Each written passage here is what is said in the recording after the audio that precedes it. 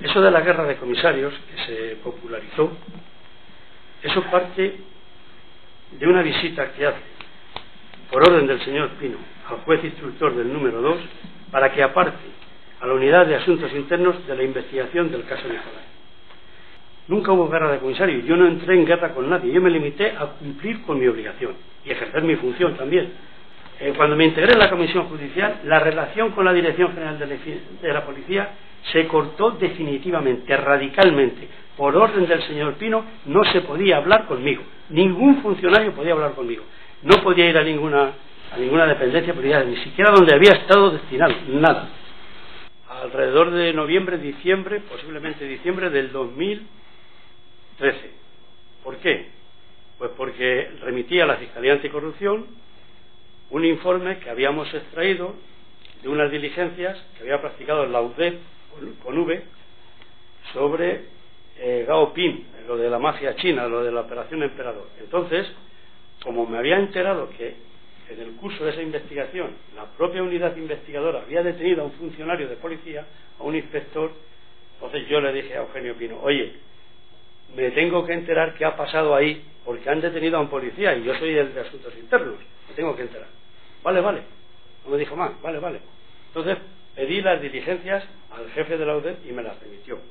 Entonces buscamos en, las interceptaciones telefónicas, en las diligencias que se habían practicado y con todo eso remitimos posibles indicios delictivos en los que habían participado cuatro comisarios y otros inspectores. Esos comisarios eran el comisario Salamanca, de, de refilón el comisario Villarejo, el comisario Patricio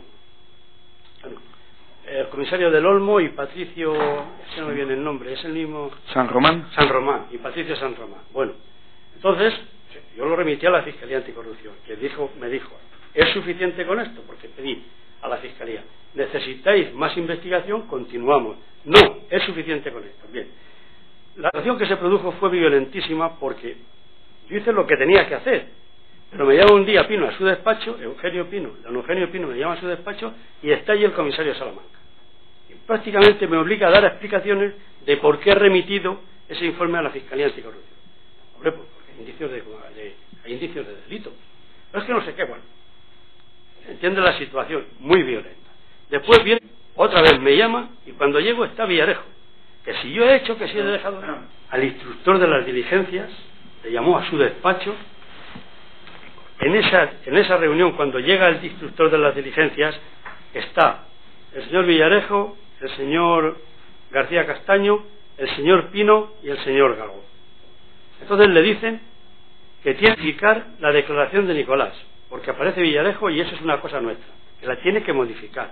El inspector contesta, pero bueno, eso sí, pero, ¿qué me pero ¿qué me están diciendo ustedes? Si el abogado le ha asistido a Nicolás, esa declaración se ha tomado en presencia de abogado. ¿Qué están diciendo? O sea, se queda horrorizado. Bueno, pues esto que no se entere Marcelino, que no se entere Martín Blas de ninguna manera. Eh, eh, que si eh, está en peligro su seguridad jurídica,